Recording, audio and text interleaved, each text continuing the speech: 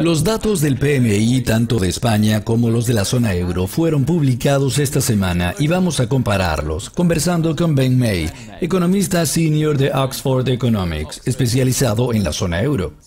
Ben, España durante los últimos cinco años ha mostrado cada vez más señales de condiciones positivas para los negocios en el sector de servicios y el indicador más reciente de marzo quedó en 57,3.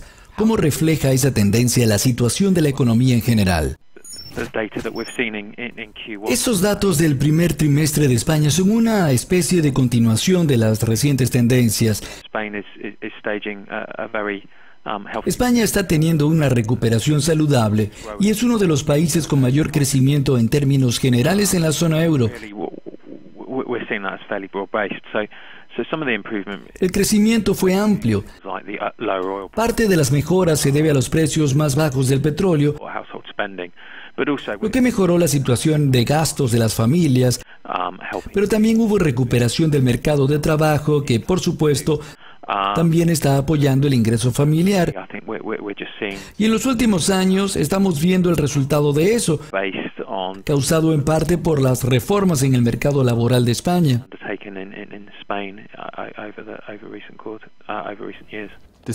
Aunque el desempleo es alto, parece que España está en el camino de la recuperación con los datos del PMI dando un nuevo impulso. ¿Cuál es el impacto de eso en la zona euro? Ciertamente el alto desempleo es un problema para España. Va a demorar algunos años para que la tasa de desempleo caiga a niveles aceptables, pero el desempleo está cayendo y eso es bueno.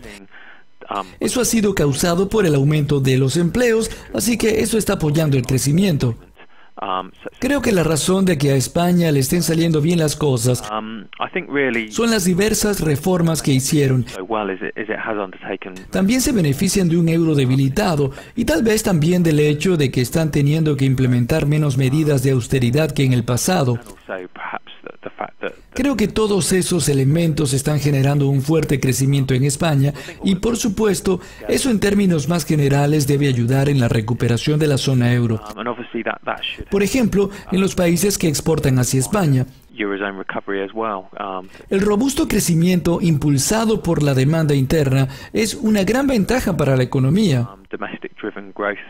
Esta semana también se publicaron los datos del PMI de la zona euro, mostrando las condiciones económicas del sector de servicios de la zona euro en 54,2 en marzo, el nivel más alto en casi cuatro años. Ese es un cambio significativo para una economía sostenible. Um, sí, creo que realmente los últimos datos de la zona euro son la continuación de una reciente tendencia y sugieren que la recuperación de la zona euro está ganando velocidad. Um, Ciertamente somos positivos en relación a la zona euro y desde hace algún tiempo tenemos esa opinión y creemos que esos son buenos indicadores que apoyan ese punto de vista. Nuestra predicción es que el crecimiento quede en 0,4-0,5% en el primer trimestre, lo que obviamente es una buena mejora respecto a los trimestres anteriores. El trimestre más fuerte de ese periodo de recuperación casi no llegó a 0,3%.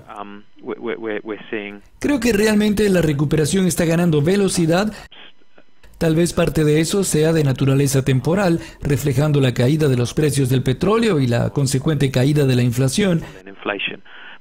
Pero también hay señales de que la recuperación del mercado laboral está ganando velocidad. La debilidad del euro debe ayudar a los exportadores y también tal vez a medida que la demanda interna se fortalece, el deseo de invertir debería comenzar a aumentar y esto debe ser apoyado por el hecho de que las tasas de interés están cayendo acentuadamente por causa de los rendimientos a la baja de los bonos de gobiernos de la zona euro. Tal vez los bancos están comenzando a estar más dispuestos a prestar dinero. Entonces, ciertamente sentimos que 2015 será un año mucho mejor para la zona euro. Gracias, Ben. Sigan conectados a Ducascopy TV para más actualizaciones y entrevistas exclusivas. Hasta luego.